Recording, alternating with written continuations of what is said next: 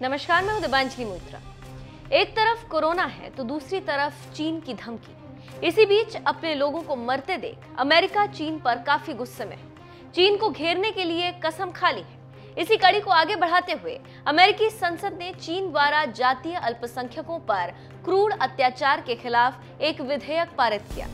ये विधेयक पश्चिमी जियान जियांग क्षेत्र में उइगर और अन्य जातीय समूहों पर अत्याचार कर रहे चीनी अधिकारियों पर प्रतिबंध लगाएगा। उइगर समुदाय के खिलाफ अत्याचार को लेकर काफ़ी खबरें दुनिया भर में आती रहती हैं। हालाँकि इस कदम के बाद अमेरिका और चीन के संबंधों में खटास बढ़ना तय माना जा रहा है। बता दें कि अमेरिकी संसद में इस विधेयक को लेकर लंबे समय से तैयारी चल रही। विधेयक को पहले ही सेनेट ने पारित कर दिया था।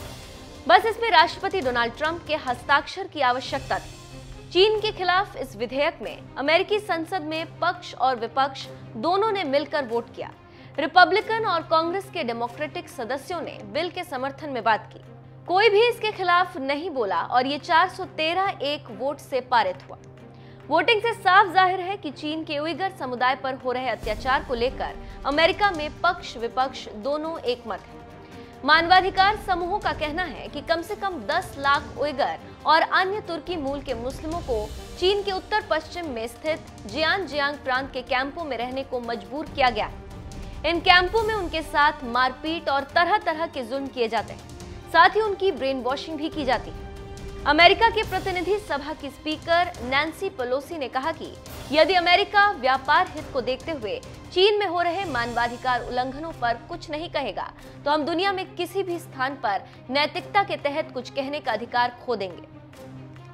वहीं टेक्सास रिपब्लिकन और हाउस चाइना टास्क फोर्स के अध्यक्ष माइकल मैकॉल ने कहा कि जियान जियांग में उइगरों और अन्य ज़्यादातर मुस्लिम जातीय समूहों के खिलाफ जो अत्याचार हो रहा है, उसे सांस्कृतिक नरसंहार कहना चाहिए। इस तरह अब सिर्फ़ राष्ट्रपति ट्रंप का हस्ताक्षर बाकी है।